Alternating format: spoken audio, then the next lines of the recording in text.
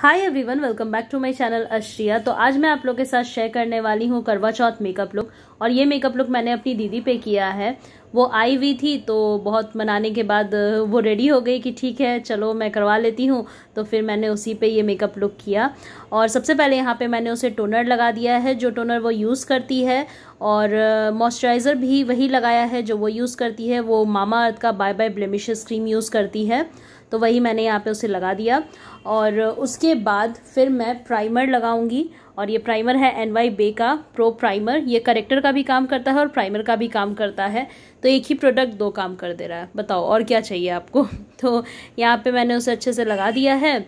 और क्या होता है ना कि अब मैं भी तो नहीं हूँ। मतलब क्या है ना कि मैंने ऐसे वीडियो बनाया नहीं है। कभी भी। मैंने मेकअप किया है औरों का बट ऐसे वीडियो नहीं बनाया। तो यहाँ पे मैं बना तो रही थी बट मुझे समझ में नहीं आ रहा था कि वो सही जा रहा है कि नहीं। तो जैसे जैसे मुझे समझ में आ रहा था, मैं करते जा रही थी। और यहाँ पे मैंने उसे पॉन्ड्स बीबी क्रीम लगाया है, क्योंकि यही वो लेकर आई थी, वो अपने शेड का कोई फाउंडेशन नहीं लाई थी। और क्या है ना कि मतलब वो ज़्यादातर यही लग यूज़ करती है पॉन्ड्स बीबी क्रीम और मैंने कई बार बोला भी है कि अगर आप फाउंडेशन लगाना नहीं चाहते हो या कुछ ऐसा तो आप सीसी क्रीम बीबी क्रीम से भी अपना मेकअप कर सकते हो। तो इसलिए मैंने उसका ही प्रोडक्ट यूज़ किया है यहाँ पे। और ये जो बीबी क्रीम या सीसी क्रीम होता है ना, इसे आप अपने हाथों से भी मिला सकते हो। मैंने ऐसे ब्यूटी ब्लेंडर का हेल्प लेकर मैं इसे मिला रही हूँ, जैसे कि आपको दिख रहा है। और ये पूना स्टोर का ब्यूटी ब्लेंडर है। बट आप अपने हाथों से भी मिला सकते हो। तो यहाँ पे मैं अच्छे से उसे मिला दे रही हूँ उसके पूरे फेस पे, ताकि बेस सही लगे। बेस अगर अच्छा हो जाता है ना तो फिर मेकअप बहुत सही दिखता है। तो यहाँ पे आप देख सकते हो कि मैं उसे अच्छे से लगा दे रही हूँ। यहाँ पे नेक पे भी लगा दिया है। नेक और ईयर्स को नहीं भूलना है। और फिर मैं यहाँ पे यूज़ कर रही हूँ स्विस ब्यूटी का लिक्विड कंसीलर कुछ चीज़ें मैंने खुद की भी यूज़ कर ली हैं, क्योंकि मेरा शेड और दीदी के शेड में ज़्यादा का अंतर नहीं है इस वजह से। जो चीज़ें वो लेकर नहीं आई थी, क्योंकि अब वो ऐसे ही कुछ काम से आई थी तो उतना सारा मेकअप तो वो लेकर आई थी नहीं।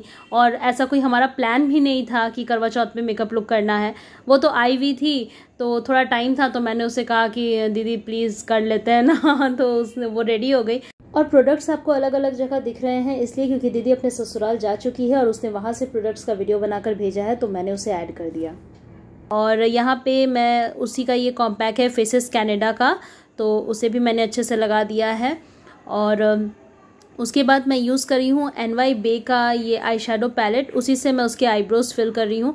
जैसे कि आपको दिख रहा है कि मेरी दीदी के आईब्रोज काफ़ी सही हैं तो इसे उतनी मतलब ज़रूरत नहीं है फिल करने की। मतलब जहाँ जहाँ थोड़ा थोड़ा खाली लग रहा है, बस मैं वहीं पे फिल कर रही हूँ, ज़्यादा कुछ नहीं कर रही, क्योंकि इसके आईब्रोज सही हैं।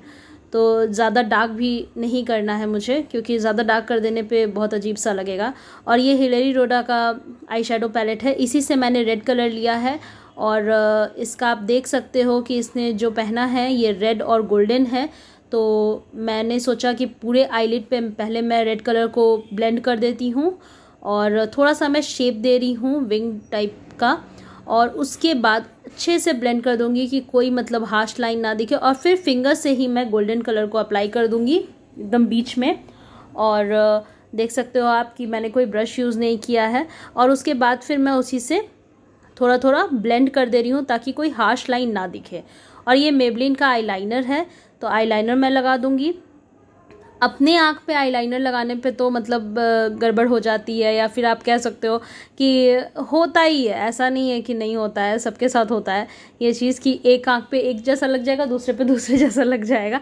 कभी कभी ऐसा भी होता है कि बहुत सही दोनों में लग जाता है। पर दूसरी की आँखों में लगाने में आपको बहुत मज़ा आता है, एकदम ड्रॉ करने का मतलब क्योंकि आँख वो प्रॉपर वो बंद कर ली थी तो वो मुझे ड्रॉ करने में बहुत आसान हो रहा था। और ये अच्छे से मैंने कर दिया। फिर भी जब मैंने उसे लगाया था ना तो एक तरफ़ थोड़ा ज़्यादा लंबा हो गया तो फिर मैंने उसे बाद में ठीक कर दिया। तो यहाँ पे उससे मैंने आईलाइनर लगा दिया है और आईलाइनर के बाद फिर मैं उसे काजल लगाऊँगी।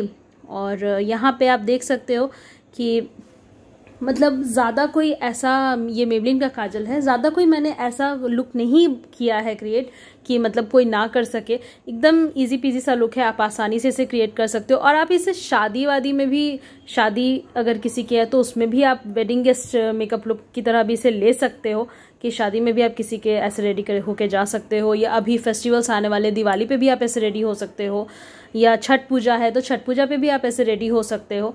तो मतलब इस तरह का मेकअप लुक आप और भी फेस्टिवल्स में कर सकते हो। ऐसा कुछ नहीं कि सिर्फ़ ये करवा चौथ के लिए ही है। तो यहाँ पे मैंने इसे काजल भी लगा दिया है और ये वेगा का आईलैश कलर है तो उसके आईलैशेस को भी मैंने कर्ल कर दिया है। और एक बात पता है क्या? उसे ना आईलैशेस लगाना नहीं आता। वैसे तो मुझे भी ठीक से नहीं आता अभी भी बट फिर भी मैं लगा लेती हूँ। बट उसकी आइज़ पे जब मैंने ये आई लैशेज़ लगाए हैं फॉल्स आई लैशेज़ इतने अच्छे से लग गए ना। मतलब जो जब कोई दूसरा आपके आँखों पर आई लैशेज़ लगाता है ना तो बहुत आसानी से लग जाती है। मैंने ये खुद देखा कि मतलब मेरे आँखों पे जब मैं लगाती हूँ तो मुझे दस बार ठीक करना पड़ता है बट उसकी आँखों पे लगाया तो बहुत आसानी से लग गया था। और यहाँ पे मैं शुगर का पैलेट यूज़ कर रही हूँ contour de force face palette zero one subtle summit तो अच्छे से मैंने कॉन्टोर कर दिया है।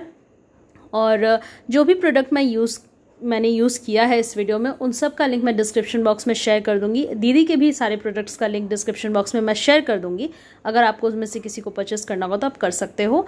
और ये मैं उसे ब्लश लगा रही हूँ और मेकअप ऑलमोस्ट कंप्लीट हो चला है। और ब्लश के बाद अब मैं हाइलाइटर लगाऊँगी। और फ़र्स्ट uh, टाइम है जब मैं ऐसे वीडियो बना रही हूँ। अगर कुछ गलती हो रही होगी तो उसे इग्नोर कर देना। और यहाँ पे अच्छे से मैंने हाइलाइटर भी लगा दिया है और आप देख सकते हो कि मतलब हो ही चला है। और अभी मैं उससे मस्कारा भी लगा रही हूँ क्योंकि ना उस टाइम पे आईलाइनर थोड़ा सा आ, मतलब लगने का डर था कि ऊपर लग ना जाए इस वजह से मैंने बाद में लगाया। मस्कारा को और यहाँ पे मैं मस्कारा यूज़ करी थी ब्लू हेवन का एक्सट्रीम लेंथ मस्कारा और ये अपर आई और लोअर आई दोनों पे लगा दिया है।